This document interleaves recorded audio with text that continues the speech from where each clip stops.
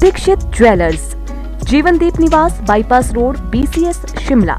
Bilaspur में शुक्रवार को आयोजित इंडिया गठबंधन बिलासपुर इकाई की पत्रकार वार्ता में पूर्व मंत्री रामलाल ठाकुर ने कहा कि हिमाचल प्रदेश में इंडिया गठबंधन एकजुटता के साथ कार्य करेगा। उन्होंने कहा कि जनता की मांगों व समस्याओं से ध्यान भटकाकर मोदी सरकार एक बार फिर सत्ता हत्याने का प्रयास कर रही है, जिसे कभी कामयाब नहीं होने दिया जाएगा। वहीं उन्होंने कहा कि सत्ता पाने के लिए भाजपा किसी भी हद तक जा सकती है। वे धर्म के नाम पर राजनीति कर रही है, जो कि सरासर गलत है। ये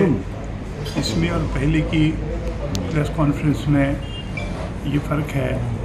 कि जितने भी हमारे इंडिया अलाइंस के जो नेशनल लेवल पे जिन पार्टियों का हमारे साथ जो है वो समझौता हुआ है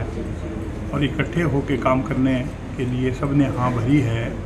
उसमें हिमाचल प्रदेश में जैसे आम आदमी पार्टी है सीपीआई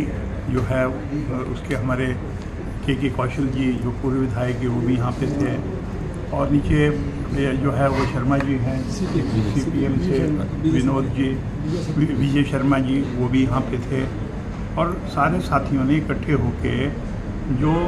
पूरे हिंदुस्तान में एक मुहिम चली है कि इस प्रकार से जो एंटी नेशनल लोग हैं, जो हिंदुस्तान को तोड़ना चाह रहे हैं, धर्म और जातिवाद के नाम से लोगों को बांटना चाह रहे हैं जिन्होंने अनएम्प्लॉयमेंट के बारे में कुछ नहीं किया,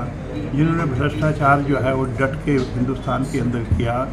और जिन्होंने किसानों की दुर्दशा करी इस हिंदुस्तान के अंदर, छोटे दुकानदार मार दिए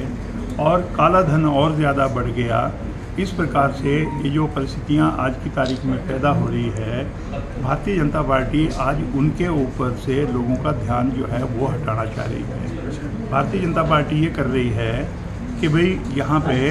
जो है वो धर्म के नाम पर, जाति के नाम पर, हिंदू और मुस्लिम के नाम से लोगों को बांटा जाए, लेकिन अब ये नहीं हो पाएगा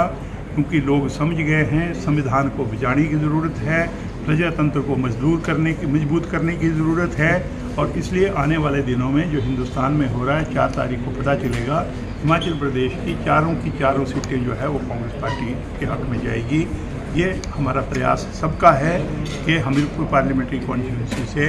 यहाँ से अनुराग ठाकुर को जो है हरा के यहाँ से रायजादा, जो हमारे ऊना से कैंडिडेट हैं, उनको विजय बनाया जाएगा। सिटी चैनल के लिए बिलासपुर से सुभाष की रिपोर्ट।